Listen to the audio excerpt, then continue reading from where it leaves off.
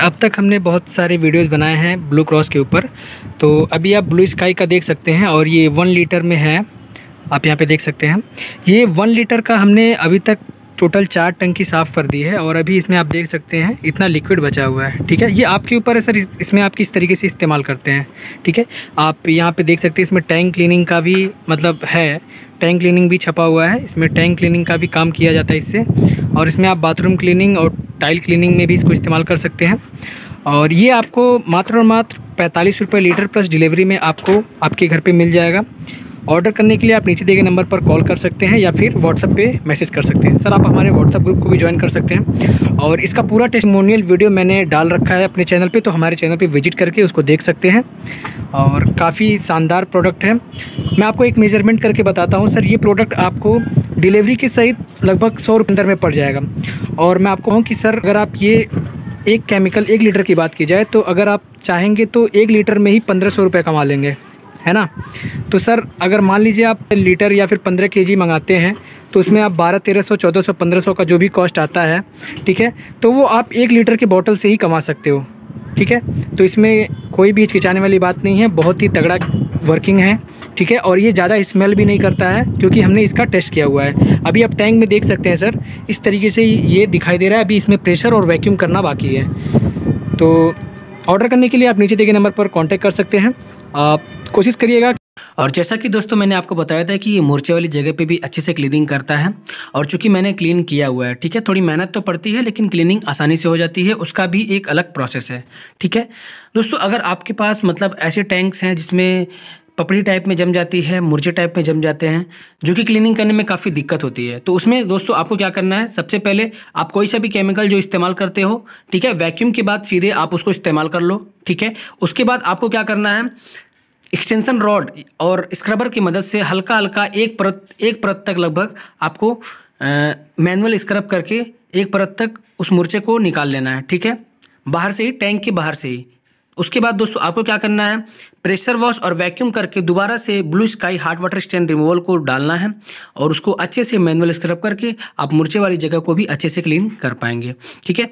तो दोस्तों, ये केमिकल काफ़ी अच्छा है और आपको आसानी से मिल भी जाएगा।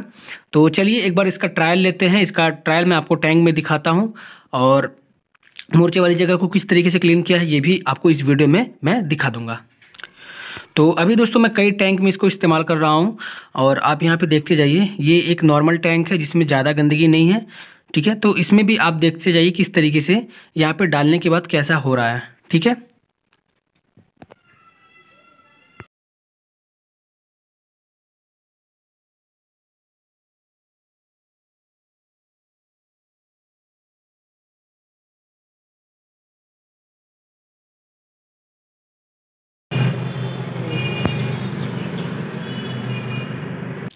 और अभी दोस्तों आप देख सकते हैं, ये ब्लू स्काई का हार्ड वाटर स्टेन रिवोल्ट टैंक में डाला जा रहा है।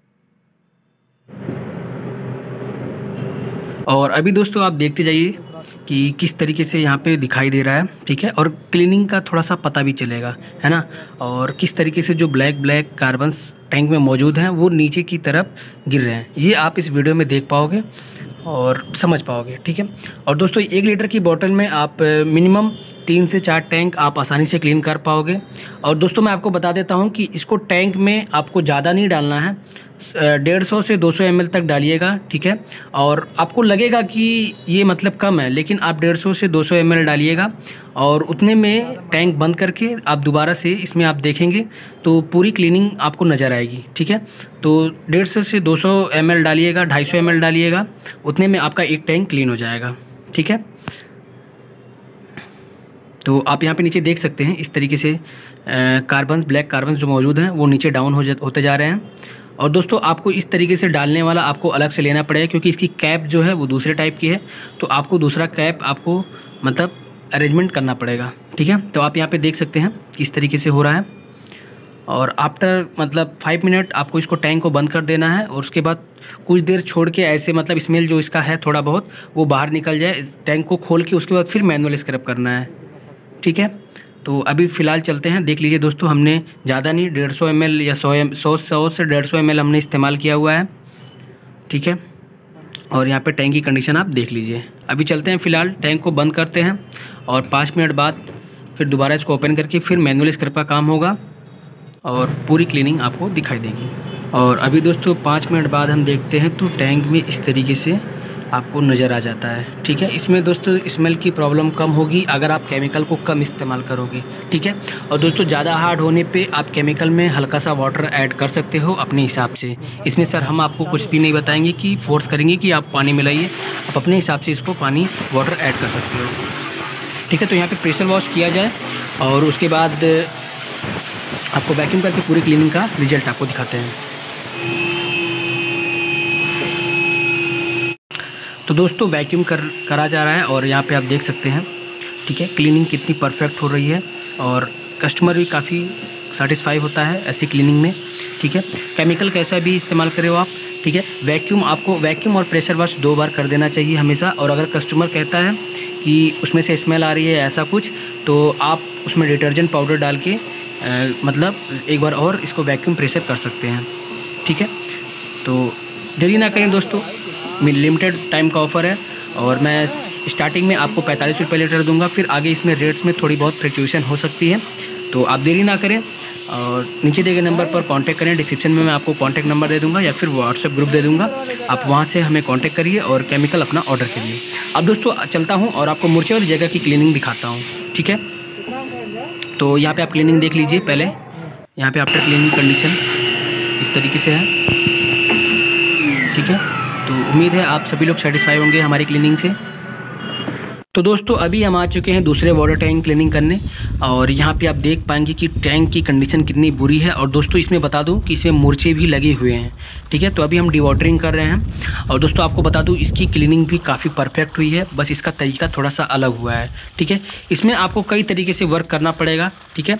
दोस्तों, सबसे पहले मैं बता दूँ कि अगर मूर्छे वाली जगह है मूर्छे हैं टैंक में, ठीक है? पपड़ी टाइप में जमी हुई है तो सबसे पहले आपको कोई भी नॉर्मल पीला वाला एसिड आपको इस्तेमाल कर लेना है हल्का सा और ठीक है उसके बाद आपको मैनुअल स्क्रब करना होगा। ठीक है? मैनुअल स्क्रब मतलब अंदर घुस के नहीं आप अंदर घुस के भी कर सकते हो। बाहर से ही आप एक्सटेंशन रॉड में आ, क्या बोलते हैं स्क्रबर फंसा के आप उसको एक परत तक निकाल सकते हो। ठीक है? एक परत जब निकल जाए दोस्तों उसके बाद फिर प्रेशर वॉश और वैक्यूम करके फिर दोबारा से आप blue sky hard water stain removal को डाल के दोबारा से मैनुअल स्क्रब करेंगे तो बहुत परफेक्ट ये वाटर टैंक क्लीन हो जाएगा। तो वीडियो को ज़्यादा लंबा ना ले जाते हुए आपको आफ्टर क्लीनिंग रिज़ल्ट यहाँ पे दिखा देता हूँ। आप देखिए यहाँ पे आफ्टर क्लीनिंग रिज़ल्ट ये है। ठीक है? ये कस्टमर के द्वारा रिकॉर्ड किया गया वीडियो है तो इस वजह से ज़्यादा अच्छा नहीं दिखा पाया हूँ ठीक है? तो, तो इस तरीके से आफ्टर क्लीनिंग रिज़ल्ट है। उम्मीद करता हूँ दोस्तों आपको वीडियो पसंद आई होगी। अगर वीडियो थोड़ी सी भी पसंद आई होगी तो वीडियो को लाइक करिएगा और चैनल पर नए हैं तो सब्सक्राइब करिएगा। हमारे व्हाट्सअप ग्रुप को ज़रूर ज्वाइन करिएगा। ऐसी इन्फॉर्मेटिव वीडियो आपको लगातार मिलती रहेगी। वाटर टैंक क्लीनिंग और क्लीनिंग से रिलेटेड सारी कुछ जानकारी आपको हमारे व्हाट्सअप ग्रुप में मिलेगी। तो देरी ना करें व्हाट्सअप ग्रुप को ज्वाइन करें और हमारे चैनल पर बने रहिए और हमारे चैनल पर और भी वीडियोज़ हैं तो आप उसको भी वॉच करके इन्फॉर्मेशन ले सकते हैं। मिलते हैं एक नई जानकारी के साथ, एक नए वीडियो में। तब तक के लिए जय हिंद, जय भारत।